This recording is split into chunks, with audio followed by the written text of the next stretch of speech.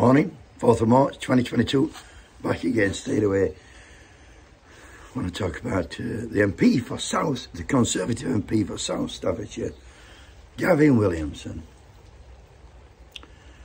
What can we say about this dollars paid geek?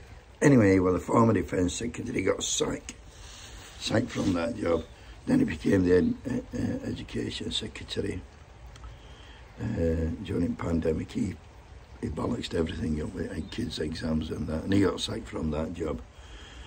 And it's almost unbelievable that yesterday, in the middle of a war, crisis, whatever you want to call it, Boris Johnson just out of blue has decided to give Gavin Williamson a knighthood. So he now becomes Sir Gavin Williamson. A knighthood for what? For getting sacked twice.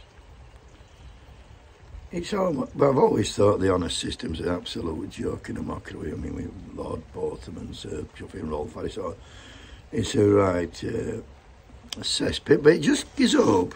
Well, I don't want a knighthood, but to any, any incompetent buffoons out there, you'll probably finish up with a knighthood if you play cards right. And the saddest thing a lot for me is, is a fucking Yorkshireman a thick Yorkshireman, Sir Gavin Williamson.